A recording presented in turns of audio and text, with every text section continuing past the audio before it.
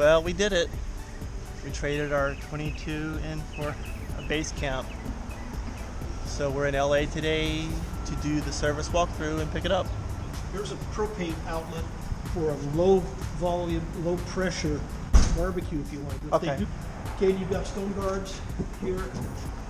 And notice the door does latch. The tires, you've got the lift on this. Okay, okay, here's a outlet. It gives you a nice view out the back if you want, and there's a screen that comes down at night storage. There's your uh, spare tire. This is just a vent. That's the Truma vent, right? Yeah, Okay. that's uh, pro- probably your hot water. Oh yeah, it actually says Truma on it. Yeah. And uh, so anyway, the normal. Uh, 30 amp, here. right? There's your fresh water fill. Uh-huh. And there's your city water fill. This is a single tank, so you're gonna uh, everything's gonna mix together. Right. And there's a storage for your for your sewer Okay. hose. And then Except- Is this like a little It's a light, flashlight yeah. for when you're working down here? Oh, nice. that is I handy. hope you never Thank have you. to do that at night. a little storage bin here. It doesn't have much capacity. Fire extinguisher. Mhm. Yeah, this is kind of an interesting thing. It's it's lit- oh, okay. There's a couple of USBs. Okay, but you can stick them through here and have them come out here Mhm. so that they are out of sight. This is a it should be this is Yeah, the porch, light here. yeah. This is front light. I'm gonna leave it on. There's that light, and this is the bathroom light. Okay. Okay, so these three are your inside hooks for your keys. A little bit of storage here. 22 gallon fresh. Okay. 29, uh, 29 gallon. Oh, okay. Okay, that's good. Yeah. Microwave, that's only going to be usable when you're on on full hookup. Yes. Um, the fridge, I have it on auto, so it automatically goes between uh, electric and propane depending on what it senses. Right. I think this is actually going to be better than ours because we're closer to the propane here. On, Yeah, it on should- the, on the it should light up a 22, little faster. on the 22, we're way over here. and Yeah. it takes a couple minutes. And I was going to say, sometimes when you, if you've had everything closed down, it won't light right away. Right. Yeah. I've replaced this with another unit like it that actually gives me a voltage readout. Okay. It does the same, but it also tells me exactly how many volts. Because that guy, you don't want to run him when the voltage gets down below 105. Okay. When you're down in the low 100s, you're risking burning out the compressor. Oh, okay. Yeah. So even though you've got voltage, even though this will be amber, Mhm. there may not be enough to keep this guy happy. Okay. so that's kind of worthwhile. The other thing is, I finally had to break down and buy a, a surge protector that goes on the post in the campground. Okay. That prevents. I've seen those. We don't have one yet. Yeah, they're expensive. Uh-huh. Or t- cost t- 250 $300 Uh-huh. for a decent one. Mine cuts off at 102 and and 132 on the other end. So if you have a spike because of lightning, Mhm. it'll cut, and if it drops too low, it'll cut. Is it just a breaker reset? Yep. Okay. Okay. Uh, your sink. Um, this slides up. Uh-huh. This thing goes. I've got the pump off, but this goes out. Hot water is up. Cold water down, and push it in to Okay. turn it off. Electrical, Mhm. and you've got another one over there. Uh, hooks for storing pots. I guess you could put pots on that. but Mm-hmm. Probably uh, uh, trivets or something Mhm, Yeah. and storage up here. Uh, okay, vent. It's a hand crank, and I do have the the uh, fan on. There's your uh, propane detector. Now that's that's a battery drain. That never goes off. Right. Right. No matter what you do, it doesn't go Okay. off. But you've got solar panels and you've got AGM batteries, so it's not to worry. Okay. You have storage here, and that AGM battery is down in there someplace. Okay. A question I had is, um, if I want to charge the batteries, does the battery switch have to be on? Yes. Okay. Oh, wait a minute. No, it doesn't. Okay. It'll charge anyway. Okay. Right. So your cutoff switch. That just means don't want to use battery. Right. Okay. Exactly. But it will it will still charge. Okay. Okay. You had one of these on your 22. Yes. Typical fuses. Uh, one of these is a is a propane. Uh, I'm sorry, is a smoke detector. This is Like carbon monoxide. carbon monoxide detector. Okay. So and again, I would I would change those batteries Once a year. once a year, no matter what. You have a vent with a fan, just like you did probably on your 22. Storage. Uh, this pulls across to give you a little uh, Clothesline. clothesline. Uh, you have a nice protective cover for your toilet paper. Because because this is an all-in-one bath. Did you have an all-in-one bath? No. You had separate.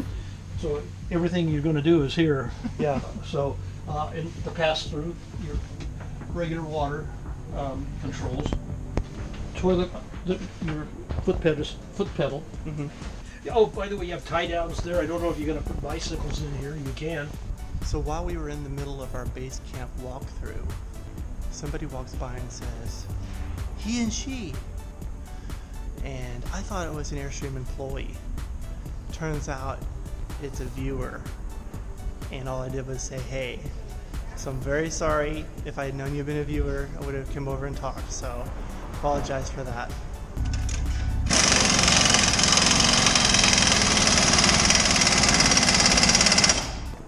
So you want the flat surface to be in the outside, and your pan it's gonna go all the way through. But you can always use this, the cheater bar if you just hook up the, the hook like that, and you can just push it. Just use your feet, kind of like that, and then you're gonna have to lock it into place.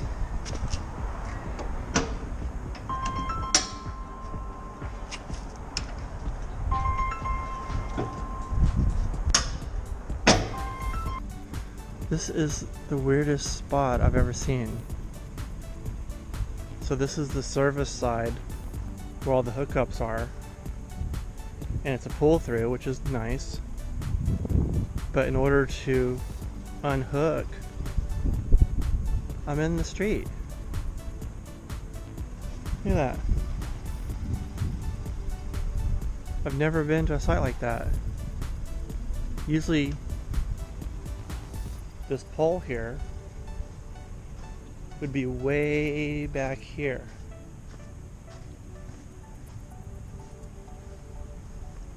So the front of our trailer, the whole stay is going to be almost sticking out in the road.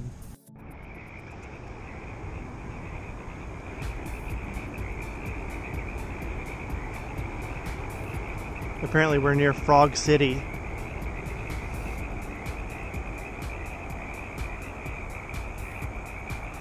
It's nice that there's a utility light out here so you can do hookups at night.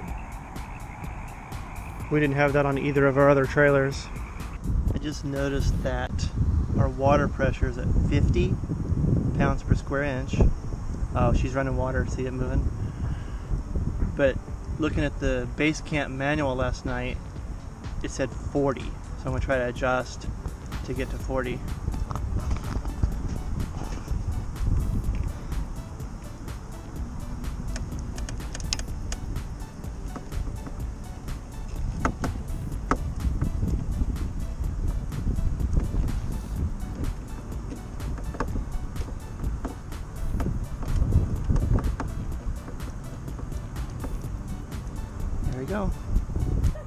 Forgot to record it during the delivery walkthrough, so I'll cover it now.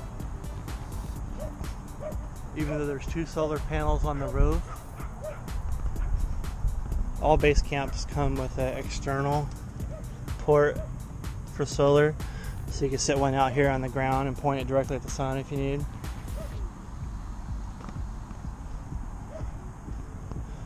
There's an external propane port here so this feeds off of your tanks that I'll show you in a second in here.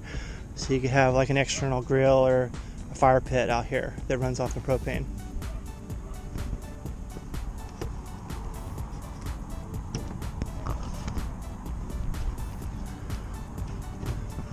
So inside here is normally the power cord, the gray power cord that I'm using right now. Wound up. And I believe, yeah, this is for the stabilizers. I guess I'll hit those real quick in case you don't know. Those just keep the trailer from shaking.